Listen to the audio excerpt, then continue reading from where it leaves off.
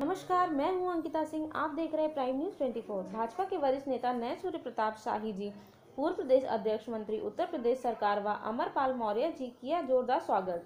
भाजपा वरिष्ठ नेता माननीय संजय शुक्ला जी ने लखनऊ कानपुर हाईवे पर माननीय सूर्य प्रताप शाही जी, पूर्व प्रदेश अध्यक्ष मंत्री उत्तर प्रदेश सरकार व अमरपाल मौर्य जी, प्रदेश महामंत्री भाजपा का जिला जाते समय सैकड़ों लोगों के साथ फूल मालाओं से जोरदार स्वागत कर प्रतीक चिन्ह से सम्मानित किया।